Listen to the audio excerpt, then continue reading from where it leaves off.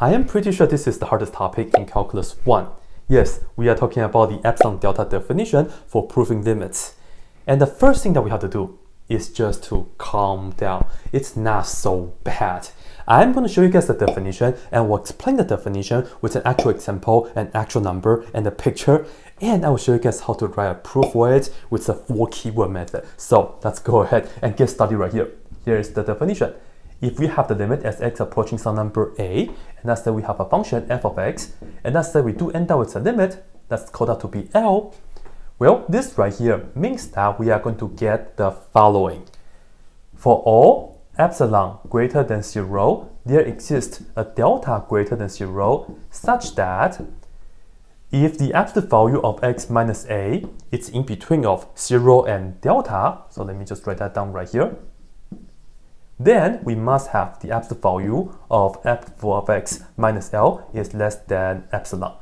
So what exactly is this, right? Because, yeah, where is the number? Oh, no, zero, but come on. Okay, here is the deal. It's hard to explain this. We will just have to use an example. And the best way is use an example with picture with actual number. That's how I'm going to do it. So for now, don't worry about this. Let's take a look. And perhaps I'll box this right here. All right.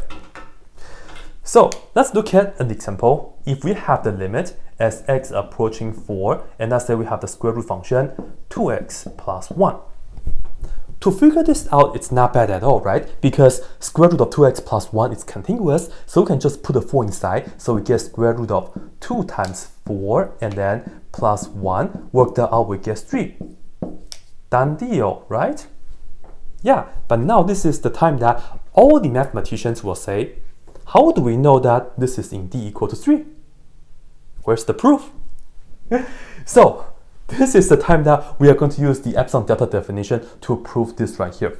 And based on what we saw earlier, when we have this right here, this means we are going to get the following. So let me write that down. For all epsilon greater than 0, there exists another number called delta that's greater than zero such that, and the word such that just means that the following statement is going to true. So we will have the following condition, we will have the following property. Such that what? Well, in this case, the a is equal to 4. So let me just put a 4 inside here. So we will have 0 less than, and the absolute value, and then x minus 4, and then we have to have this less than delta. If this inequality holds, then we will get the inequality that our function, which is that, so I'll just put down square root of 2x plus 1, and then minus the limit that we got earlier, which is 3. This right here has to be less than delta. So here is the quick explanation. The idea is that if x is not too far away from 4, how far is too far? Well, the distance between x and 4, it has to be less than delta. And delta is supposed to be a small number. If x is really close to 4, then the corresponding value of the function, it must be really close to our limit. And how close is close? Epsilon distance close. So that's pretty much the idea. So this shows that you can get to 3. You can approach 3 as close as possible. Now, let me give you guys a picture for this right here. And we see that the starting is at negative 1 half, and then here is our square root function. And let's say 4 is right here, and we go up, and we see that we have 3 right here. Perfect. Now, I'm going to break this down for you guys. You see that we have for all epsilon greater than 0, what's epsilon? Epsilon is the distance between the function and the limit. All right?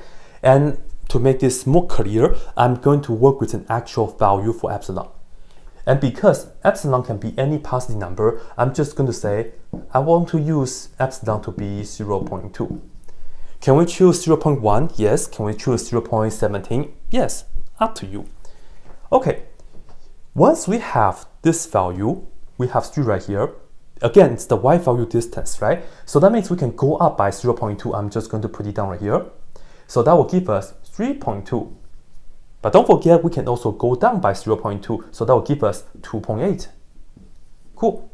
And once we have the epsilon value, you can just see that we can create a region like this.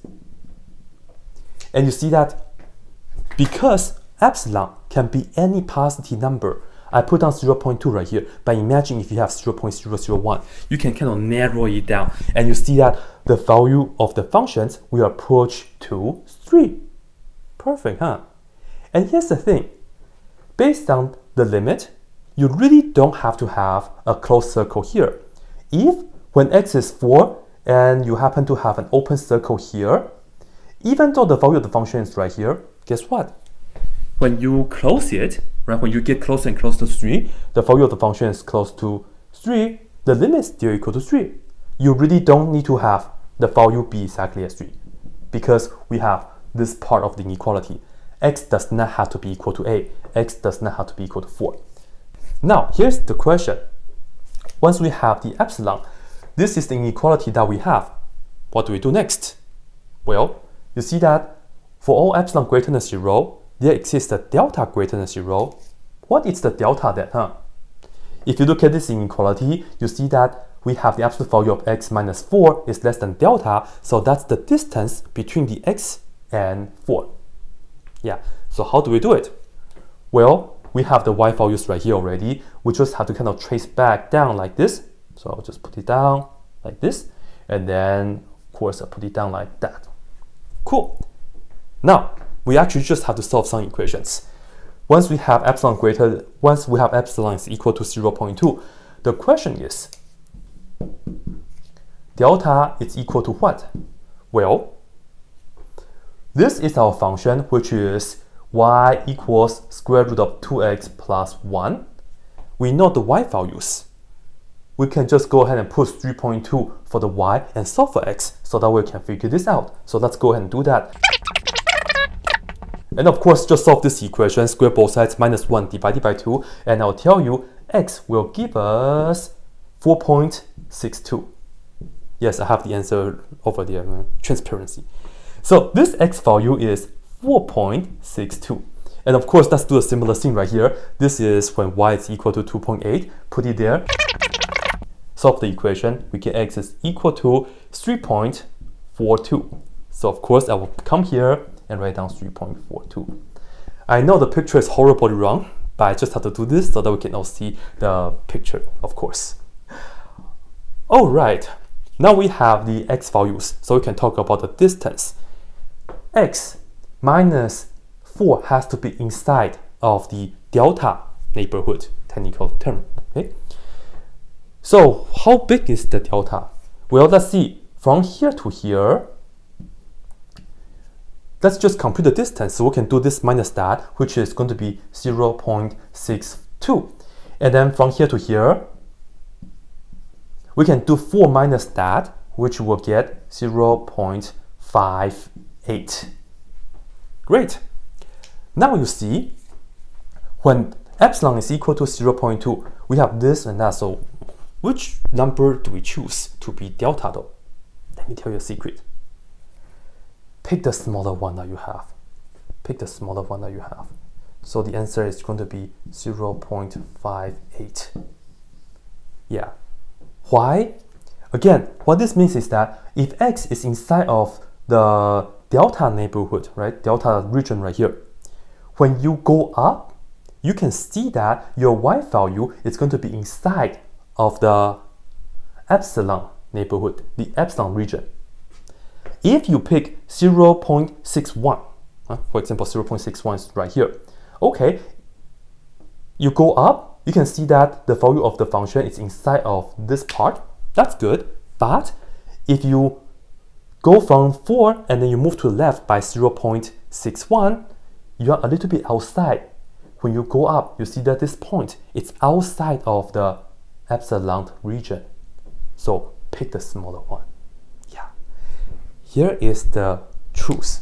If you have a question with the actual epsilon value, most likely you can say delta is equal to 0 0.0000000001 and most likely it's going to work. Why? Because if you say delta is this number, that means you are only allowing yourself to move out away from 4 by just a tiny bit like that. Just a tiny bit. If you are inside here, if you go up, of course, you will be really close to 3. Of course, you will be inside of the epsilon neighborhood. But if you do this, your teacher will get really mad at you. Usually, the direction is going to say, find the biggest delta that will make this statement true. So hopefully this right here gives you the idea. And now, as I promised it, I will show you guys how to write a proof for this limit with the epsilon delta definition. And the key is know these four words. But first off though, write down PF for proof. Here we go. First word, you see that right here? Huh? The upside down A is the for all. What you do is you write given. Yeah. Always. If you don't have this, let me tell you it's wrong. Right? When you are writing the epsilon delta definition proof, always write down given epsilon greater than zero. Alright? Next, you see that we have the there exists. And earlier you see that we have to do the work to find it. And then, hmm, sometimes you may have to choose it, right? So the next word is choose. Choose delta to be, um, to be what? Well, unfortunately, I don't know yet. Because you see that epsilon here is just arbitrary. And uh, I cannot do any computation yet, right? So don't worry, just leave it, right? Just leave it, just leave it. Next, what do we have next?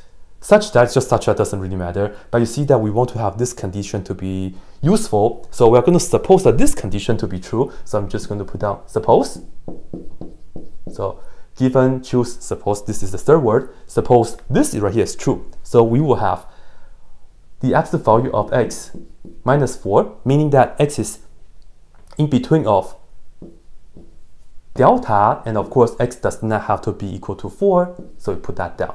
So that's pretty much what we were saying earlier. X has to be uh, in this region here, yeah, on this interval. So and then later on, when you go up, you want to make sure uh, the value of the function is in this interval. But anyway, third word, suppose. Next, we want this right here to be true.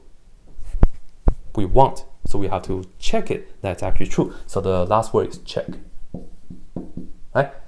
Given choose suppose check, and let's go ahead and write that down. We have the absolute value, and we have the square root of 2x plus 1, and then minus 3. And do not just write down less than epsilon, because we haven't done anything right here, all right? This is the part that requires some computations and some logical reasoning. So check this out. Here we have a square root case. So what we're going to do is multiply by the conjugate and also divided by the conjugate. So I'm going to write this down right here.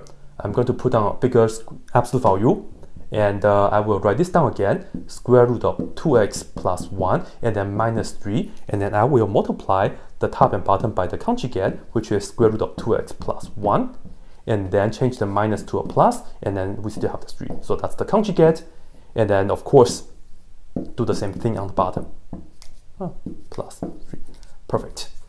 Now, on the top, multiply this out, square root cancel, so we just have 2x plus 1, and then minus, let me just put this in red, 3 times 3, which is 9, so I'll just put down minus 9, like that.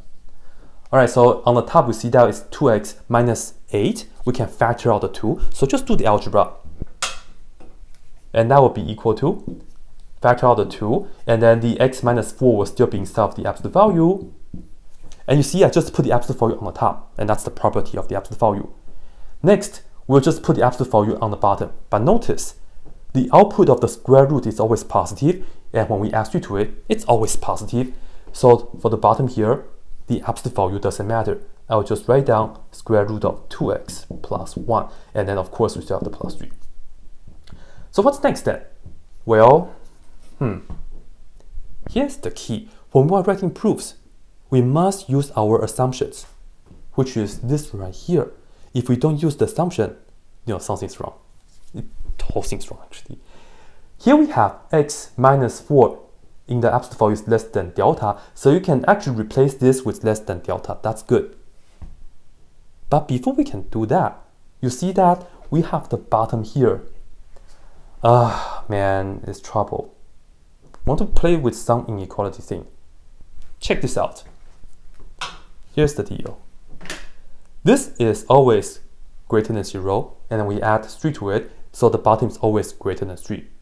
Let me tell you, we can actually just ignore the bottom, and then we can just say this is always going to be less than just the numerator, namely 2 times the absolute value of x minus 4. Why can we do that? Well, again, let me give you uh, an example. Let's say we have 10 and 10. Of course, they're equal. But right here, if I divide this by 3, which number is bigger? Of course, this is bigger, right? So you see, I just ignore the bottom, right? If you compare this and that, this is going to be less than just the top because square root of 2x plus 1 plus 3 do not mention it's greater than 0. You actually have to mention that this is greater than 1. Of course, you can also say it's greater than 3. That will also work. But the key is you have to make sure that the bottom is greater than 1. Because if you have 10 and 10, if you divide it by 0.1, in fact, this right here will be bigger. This part is exactly our assumption, so we can say this right here is less than, right? This is less than the delta that we have right here, and then we have the 2 in front, like that. Cool. Now, remember, in the very end, we want to end up with just an epsilon. So I really want to just end up with an epsilon right here. Now, pop quiz for you guys. 2 times what will give us epsilon? Epsilon over 2 is the answer, right? So you see, we can just put on the 2, and suppose we choose delta to be epsilon over 2. Aha! 2 and 2 cancel nicely, so that means we just have to go here and choose delta to be epsilon over 2. And you see, delta is equal to epsilon over 2. And if you read the whole thing now, given epsilon greater than 0, that's this part, we found a delta. That's epsilon over 2. And notice, because epsilon is greater than 0, epsilon over 2 is of course still greater than 0. And if we have this condition, right, then we see that the absolute value of this is less than is less than epsilon. So that means we are done. So of course, in the end, we can just put on a box and shade it in because this is a very nice proof. What do you guys think? Cool, huh? Now, before we go, I really want to talk about this right here. You see how earlier, when we have an actual epsilon, like 0.2, we can just do the computation and we have found that the delta in this case was 0.58. Cool, right? Mm, you see right here, we only have a formula for the delta, and the delta is epsilon over 2. Keep this in mind. When you are doing the proof, most likely you will just end up with a formula in terms of epsilon right here for the delta. And let's see if epsilon was 0.2 right here, okay, will the delta work? If epsilon is equal to 0.2 like what we got earlier, delta based on this formula is going to be 0.2 divided by 2 which is 0.1. Hmm. Earlier we found the delta was 0.58 and right here if we use this formula we get 0.1. Is there anything wrong? No, don't worry about it. Right here is just because we are doing the proof.